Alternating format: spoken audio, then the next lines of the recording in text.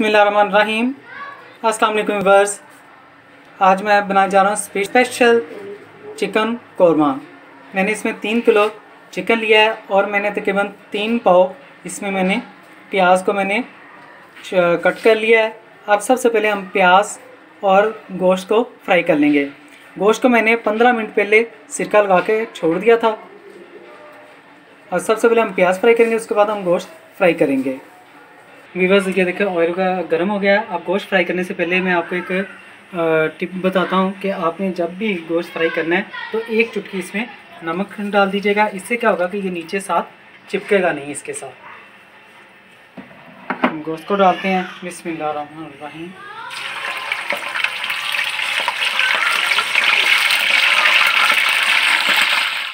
तो देखिए, मैंने ये ढक्कन दे दिया कि आपने गोश्त जब भी डालना है प्याज से डालना है। ढक्कन दे देंगे हम थोड़ा सा साथ ही। इससे क्या होता है हमारे ऊपर छींटे नहीं पड़ती ऑयल की क्योंकि तो इसमें ज़ाहिर है कि वो सिरका, पानी में होता है धोया होता है हमने हम पाँच से सात मिनट के लिए इसके ऊपर ढकना भी दे देंगे। इससे होता है कि हमारे ऑयल में ही गोश्त हमारा तकरीबन गल जाता है। पाँच या सात मिनट के लिए हम ढकना उसके ऊपर दे देंगे इसमें रहे हैं। ये तकरीबन पाँच से सात मिनट हो गए हैं। अब हम इसमें ढकना उतार देंगे। और इसे एक मतलब लगा देंगे और जब ये ब्राउन हो जाएगा तो हम इसे निकाल देंगे। ठीक है हमारा चिकन। ये ब्राउन हो गया है। वह ठीक है। अब हम इसे इसे हम निकाल लेते हैं।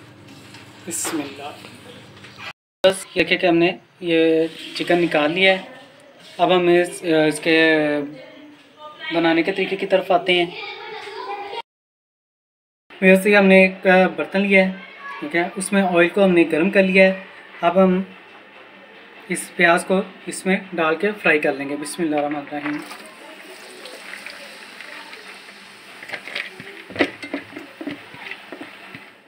रहीम माशा से प्याज ब्राउन होना शुरू हो गया हुआ है। हम थोड़ा सा और इसे ब्राउन करेंगे। फिर इसे हम निकाल लेंगे और फिर दोबारा थोड़ा थोड़ा सा हम ऑयल इसमें और डाल के हम गोश्त को भी फ्राई कर लेंगे।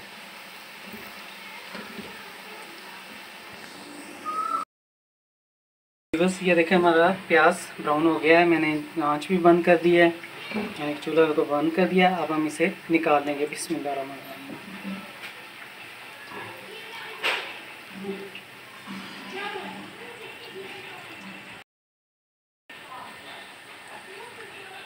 फिर ये देखिए, मैं इसे अच्छे तरीके से प्रेस कर रहा हूँ। इससे क्या होगा कि ऑयल सारा इसका वो निकल जाएगा इससे।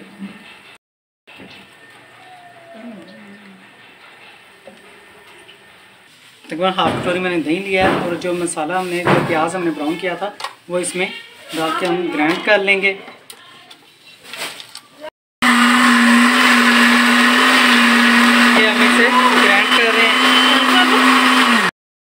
वीवर हमारा ऑयल गर्म हो गया, मैंने वही ऑयल इस्तेमाल कर रहा हूँ मैं। अब मैंने इसमें क्या खड़े मसाले लिए हैं? इसमें कड़ी पत्ता, जलबत्री, दालचीनी का और तीन मोटी इलायची ली है मैंने, लौंग और ज़ीरा और काली मिर्च साबुत भी है। तो इसे हम थोड़ा फ्राई कर लेंगे इसे ऑयल में इसी में ही भून लेंगे इसे। उसके बाद फिर हम इसमें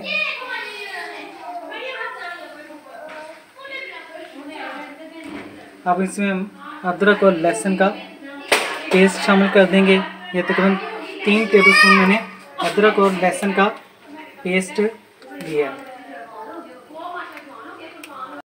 अब इसे अच्छे तरीके से हम इसे भून लेंगे। इसे लाइट ब्राउन कर लेंगे अदरक और लहसुन के पेस्ट को। अब इसे अच्छे तरीके से हम इसे भून लेंगे, इसे लाइट ब्राउन कर लेंगे। अदरक और लहसुन के पेस्ट को। ये, हमारा ये हो चुका हुआ है, इसमें अदरक, लहसुन का पेस्ट अब हम इसमें चॉप हुई पेस्ट हुई, सब्ज़ मिर्चें। वो डालेंगे इसमें, आठ से दस अदर मैंने सब्ज़ मिर्चें ली थी। तो इसका पेस्ट मैंने बना लिया था।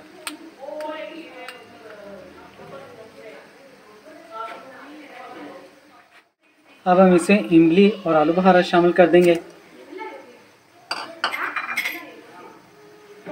टमाटर हैं हमने, तीन से चार अदर बड़े साइज़ के टमाटर काटे हैं। वो भी इसमें शामिल कर देंगे।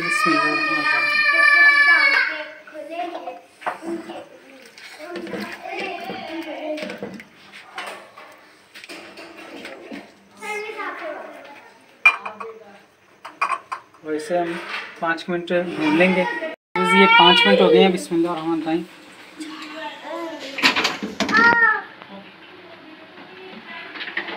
अब हम इसमें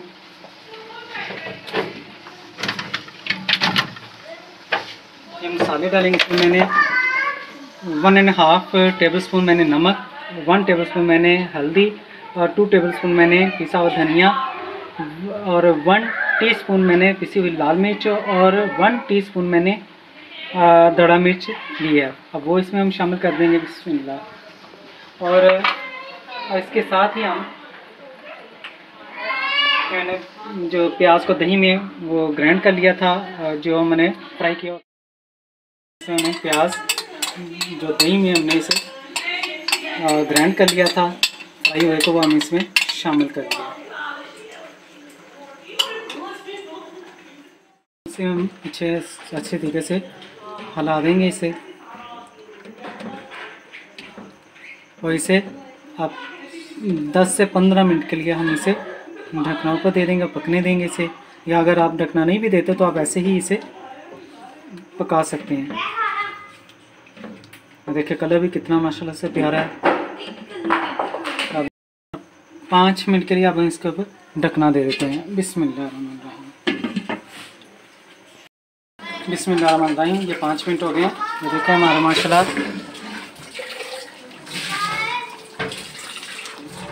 ये देखें माशाल्लाह से कितना प्यारा ये कौरमे का हमारा। देगी स्टाइल कौरमा है हमारा ये। और इसका कलर बहुत प्यारा आया। अब हम इसमें चिकन शामिल कर देंगे। बिस्मिल्लाह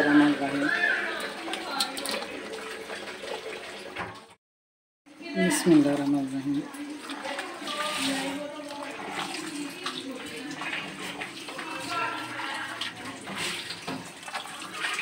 ये देखें बिल्कुल देख तरह का कौरमा है। और आप हमारे चैनल को जल्दी से सब्सक्राइब कर लें लाइक का बटन दबा लें, ताकि रमज़ान के हवाले से आगे रमज़ान आ रहा है। उसके हवाले से हम आपको बहुत सारी रेसिपीज़ शेयर करेंगे आपसे। आप घर में आसानी से बना सकते हैं।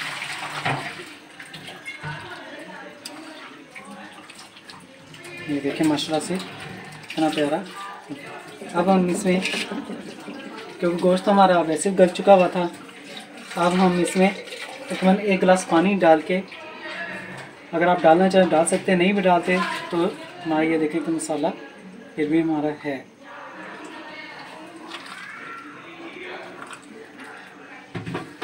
इसमें आप हम एक गिलास पानी डाल के तो 10-15 मिनट के लिए हम इसे मीडियम आँच पे पकने के लिए छोड़ देंगे इसे। ये देखें कि अब हम इसमें एक गिलास पानी ये डाल दिया हमने।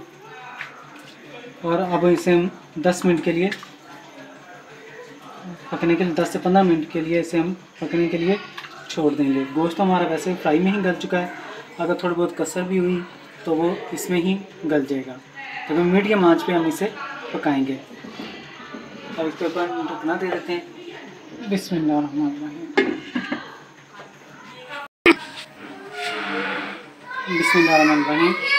देखिए कि हमारे दस से पंद्रह मिनट हो गए हमारे।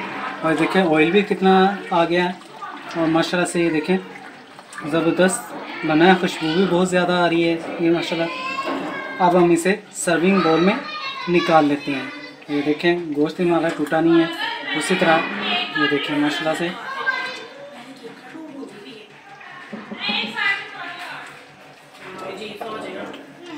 अब हम आँच को बंद कर देते हैं। अब इसे सभी बोल में निकाल देते हैं। बिस्मिल्लाह